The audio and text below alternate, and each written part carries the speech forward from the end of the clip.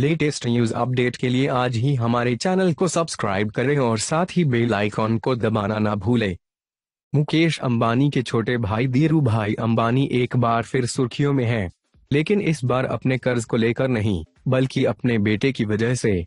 दरअसल अनिल अंबानी के बड़े बेटे जय अनमोल अंबानी ने अपने करियर की पहली बिज़नेस डील में ही अपने पिता को 2600 करोड़ का मुनाफा कमा दिया है। अनमोल ने British game developing company Codemasters में रिलायंस ग्रुप की 60 फ़ीसदी हिस्सेदारी 1700 करोड़ रुपए में बेच दी है। अनिल अंबानी की कंपनी रिलायंस कैपिटल ने साल 2009 में कोड मास्टर्स की 90 फ़ीसदी हिस्सेदारी 100 करोड़ रुपए में खरीदी थी, जो अब लगभग सत्ताईस हज़ार करोड़ रुपए हो चुकी है।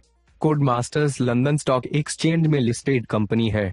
उन्नीस सौ छियासी में शुरू हुई इस कंपनी को एक वीडियो गेम से पहचान मिली थी। कंपनी की चार शाखाएँ हैं, जिनमें से तीन ब्रिटेन और चौथी मलेशिया के कुआलालंपुर में है। बी को दी गई फाइलिंग के मुताबिक 1700 करोड़ में हिस्सेदारी बेचने के बाद अब रिलायंस ग्रुप की कंपनी में उनतीस फ़ीसदी हिस्सेदारी रह गई है, जिसकी वैल्यू 1000 करोड़ रुपए है। इससे पहले, अप्रैल 2018 में अनमोल अंबानी रिलायंस ने पॉन एसेट मैनेजमेंट और रिलायंस होम फाइनेंस के बोर्ड में शामिल हुए थे। अनमोल अंबानी अभी रिलायंस कैपिटल के एक जीक्यूटिव डायरेक्टर हैं। उन्हें अगस्त 2016 में रिलायंस कैपिटल के बोर्ड में शामिल किया गया था।